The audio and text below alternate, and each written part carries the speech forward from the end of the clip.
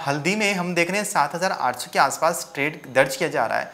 बीते सत्र में हमने हल्दी को आठ हज़ार के ऊपर भी हाई लगाते हुए देखा था। आपको क्या लग रहा है? क्या कल वाली तेज़ी हल्दी में आज भी देखने को मिल पाएगी? देखिए एक्सपेक्टेड है कि हल्दी के अंदर तेज़ी बन सकती है। आज अठहत्तर के नीचे एक बार बाज़ार लुढ़का ज़रूर था लेकिन उसके बाद सस्टेनेबल कर रहा है उससे अठहत्तर सौ के ऊपर की सस्टेनेबिलिटी इसके अंदर देखने को मिल रही है। आ, लेकिन फिर भी सत्तर सौ चालीस के स्टॉप लॉस के साथ इसमें सत्तर सौ अस्सी के आसपास बाइंग बनाया जा सकता है और ऊपर में आठ हज़ार तक के स्तर संभव है देखने को मिल सकते हैं। जी।